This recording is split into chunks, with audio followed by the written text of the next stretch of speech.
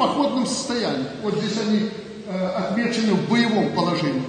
Через день они подняли ракеты, привели в боевое состояние. Скажу откровенно, мы отсюда получали от украинцев информацию, что готовится удар по белорусской территории.